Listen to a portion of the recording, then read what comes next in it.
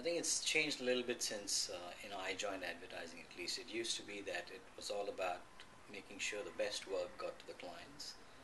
But now I think it's it's more about trying to also get the client sensitized from the client side to what really is out there and what the brand can actually achieve using all the different channels that is available to us today.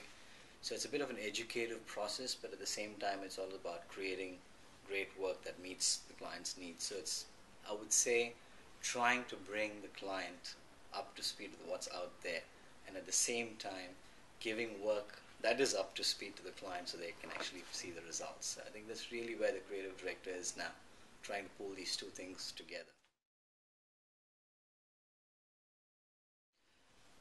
Frankly, I think they should just get into all the different medias that are there and get savvy with everything. Gone are the days when you had a copywriter and you had an art director, and all you did was art direct and you know waited for the copywriter to write the line, and then you know along came the digital age, and people then said, "Oh, it needs a banner and it needs a website," and we went and you know talked to a person who was tech savvy and got them to do it. I think those things are kind of old-fashioned. I think now creative people need to be able to know, at least have a working knowledge of how the different medias work and what their effects are. At least a working knowledge if they're not the experts in it.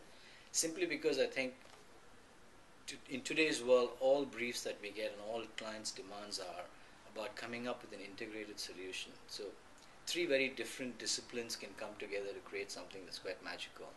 But it won't happen if I didn't have a healthy respect for what that person is doing the other person is doing. And I can't have that healthy respect unless I know how difficult it is with what he's doing. So it's digital, so I should know that you know it takes a lot to produce that website that he's producing. It's pretty much the same thing we accuse clients of that we are also guilty of doing within our disciplines. Yeah. So I think creative people, you know, should stop just siloing themselves and saying I'm a writer versus I'm an art director versus I'm a digital person and I'm really good with the outdoor and I'm good with blogs. But creative people are creative people. They should be able to know or get into most things and discuss most things quite intelligently. I surf a lot. to be honest, Angel, I just surf a lot. I think the web has changed a lot, a lot, you know, how we receive information so of course, people send me a lot of work. I do, you know, see a lot of sites that showcase a lot of work. Besides that, I go on to a lot of popular blogs and stuff like that, which we have. So it's more about those are more about keeping in touch with what's out there and what's current. Yeah. In the advertising world, it's all it's all about what the other agencies are doing and what the other clients are doing. So I think it's a quite a good mix. It's probably fair to say that maybe it's three hours in a day you are actually surfing and looking at stuff because you can, you know, put it back.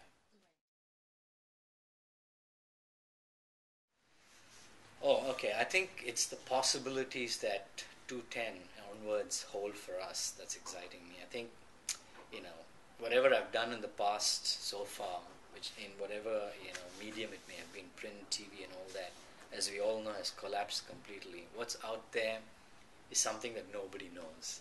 And that's what's really exciting for me because now truly we are in a place where we can create something new without any idea of how well it would do or how badly it would do.